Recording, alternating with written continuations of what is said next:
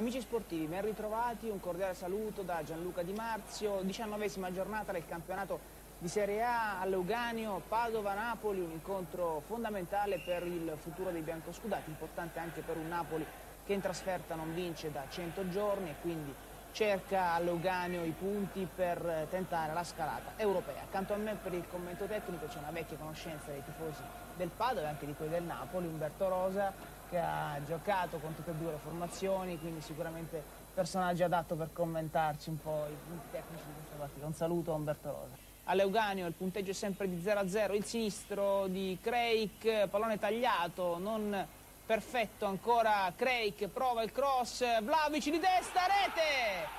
Il Padova passa in vantaggio, subito fuochi d'artificio a Leuganio, Goran Vlavic blocca il risultato dopo 5 minuti e 18 secondi. Umberto si è verificato quello che stavo dicendo prima, già si intuiva qualche possibilità del Padova, tanto è vero che sulla prima è stato un calcio d'angolo, palla inattiva però mal calciata da Cric, alla seconda esecuzione ha pennellato e Blavic con le sue grosse possibilità ha colpito benissimo. Vedete Amoruso che dà consigli ai suoi centrocampisti, potrebbe provarci. Silvio Giampietro parte alla rincorsa, poi la barriera del Napoli si ferma, ancora Giampietro, pallone a giro, taglia la tela miracolo, Amoruso che si mangia un gol già fatto. Grossissima Umberto. occasione per il Padova che conferma quello che avevo detto prima, troverà grosse difficoltà il Napoli, eh.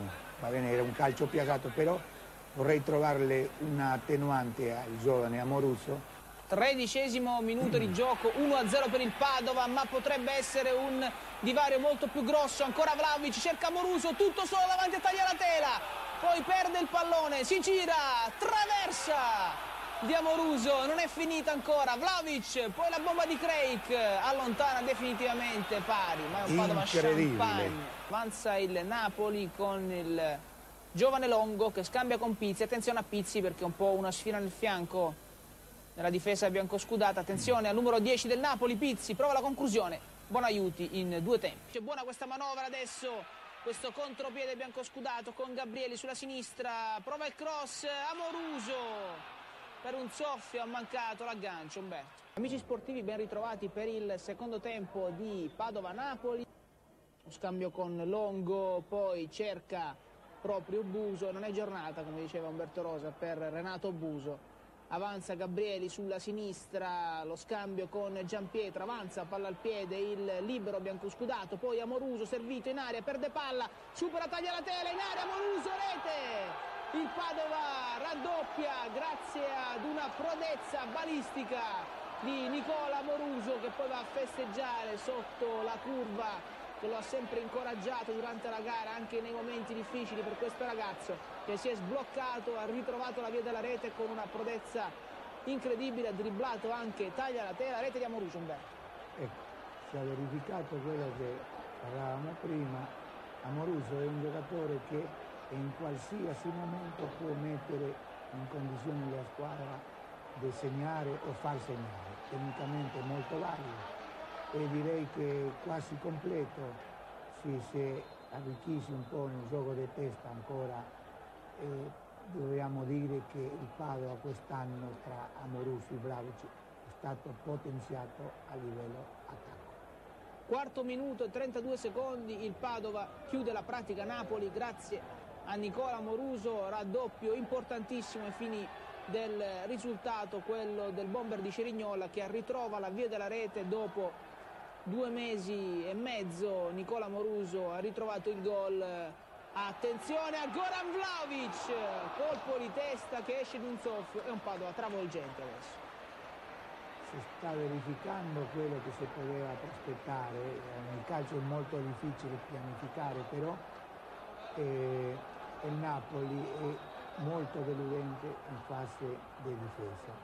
La mancanza ripeto di Cruz li ha messo in condizione di non poter mh, mm, tutelarsi in una maniera che nel calcio deve essere giustificata così perché non, non puoi dare tutti quegli spazi. Chiaro che adesso ancora più difficile, speriamo che il Padova non abbia quei momenti di blackout come le capita anche nelle partite tipo Atalanta e Piacenza, ecco, vedi. Pizzi, la conclusione in area del numero 10 del Napoli e Bonaiuti si arrabbia un po' con i compagni. Conquista il pallone pari a centrocampo, adesso il Napoli prova a rendere un po' la gara più viva. Pizzi Buso servito sulla destra, cerca il cross, colpo di testa di Rosa, poi l'intervento di Gabrieli, ancora il cross, poi colpo di testa da parte di Quicchi, adesso il Napoli tutti in avanti alla ricerca del 2-1 Pecchia, posizione di fuorigioco, non secondo Nicchi e poi Pizzi realizza il gol del 2-1 e qui c'è forse da rivedere un po' la posizione di Pecchia Umberto. Sì, sì, mm, è difficile giudicare ma e, e lì chi, chi dà, dà, il parere è il guardialinea più che l'arbitro. È lui che è in linea, che vede la situazione. Evidentemente Forse si è inserito bene. Sì, eh, dovrebbe essere posizione valida. 3 a 1 eh, se bisogna tentare il, il, il pareggio. Attenzione di Napoli, tutto solo davanti a Bonaiuti che salva con i piedi, Napoli vicino al pareggio. Sì, vedo un Padova più tranquillo, passata la paura, si è riorganizzato e sarà molto più dura per il Napoli. Longhi, la conclusione che esce di un soffio al lato e forse sarà l'occasione per l'ingresso in campo di Cafu Coppola che entra al posto di Sconziano che evidentemente non ha ancora dei problemi fisici e quindi Sandreani inserisce Coppola che dovrebbe schierarsi sempre sul settore di destra no, sì. Penso di sì, non faranno è la stessa situazione, non è che cambia nulla tatticamente. Gian Pietro chiama lo schema lungo, cerca il cross per Amoruso, buono lo stop, scambia con Longhi, avanza Longhi sul settore di destra, può provare la conclusione, cerca il cross, Vlavic, colpo di testa rete. Il Padova fa tris nel momento più importante sicuramente della gara, nel momento migliore del Napoli, il Padova colpisce con Goran Vlavic, ancora un colpo di testa del giovane croato e il pallone finisce in rete per la terza volta.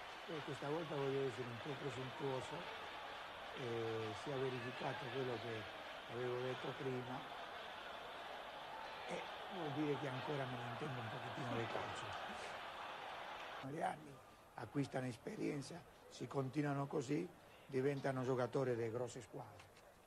3-1 il punteggio quindi il Padova ha ottenuto la terza rete nel momento migliore del Napoli, nel momento in cui il Napoli premeva la ricerca del pareggio, ha colpito al momento giusto quindi la formazione di Sandreani grazie a questa insuccata di Vlaovic, ancora Tarantino prova il cross, Gian Pietro, Buso prova il cross, Agostini di testa, facile facile per Bonaiuti, Longhi, capitano del Padova, tornato contro il Napoli a grandi livelli, buona partita la sua, Fiore supera in dribbling un avversario, cerca e trova Maurizio Coppola sulla destra, ancora il centrocampista romano, cerca il cross, Fiore al volo, rete splendida di Stefano Fiore che adesso improvvisa uno spogliarello con la maglia scaraventata a terra, evidentemente la rabbia per restare fuori, l'entusiasmo per il gol, è chiaro quando un giocatore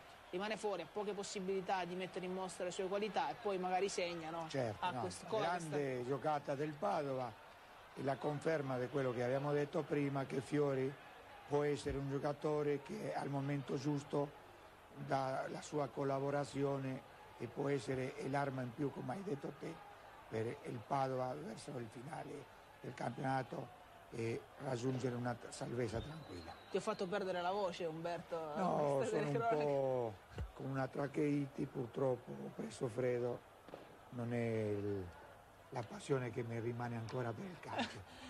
Quarantesimo minuto, arrotonda il punteggio, la formazione di Mauro Sandreani grazie ad una giocata davvero pregevole di Stefano Fiore che al volo ha realizzato, attenzione, buon aiuti ancora su Agostini la conclusione respinta dal portiere del Padova, poi c'è questo calcio di punizione fischiato dal limite per il Napoli, anche se forse era dentro l'area. Sì, poteva essere anche rigore, ma comunque non, non succede niente, non è che cambiasse molto. Ancora occasioni da rete comunque in questo sì. incontro, come dicevi tu sì. prima.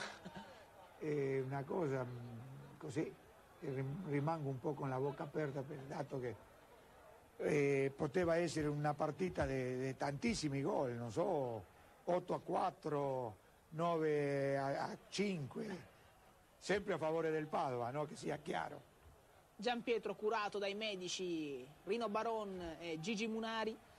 Risultato su 4-1 grazie alla prodezza di Stefano Fiore che ha raccolto al volo un cross di Coppola. Appena entrato 3 minuti, giusto il tempo di firmare il quarto gol di questo incontro. Sicuramente grande spettacolo a Leuganeo e su Telenuovo per tutti gli appassionati sportivi. Calcio di punizione per il Padova, Nicchi di Arezzo fa allontanare la barriera, l'incaricato dovrebbe essere Arturo Di Napoli, la punizione di Di Napoli e la rete da parte di questo ragazzo che realizza un altro gol importante con la maglia del Napoli, gol personale Grande naturalmente. pennellata di Napoli, deve aver avuto la possibilità di aver visto qualche cassetta di Maradona e ha assimilato. Grandissimo gol, gol diciamo europeo. Evidentemente la pioggia caduta sì, in questi giorni. Un fatto che la gente non se ne rende conto tante volte, ma uno che lo ha praticato il calcio lo denota subito.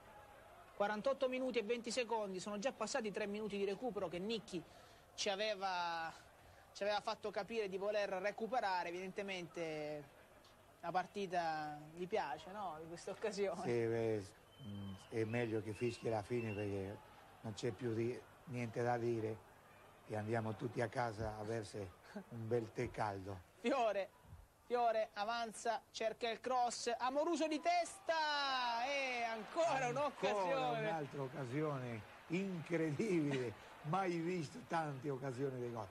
Guarda, che si, il taglialatela non riusciva a sfiorare la palla è, molto, è quasi sicuro che era il quinto gol del Padova.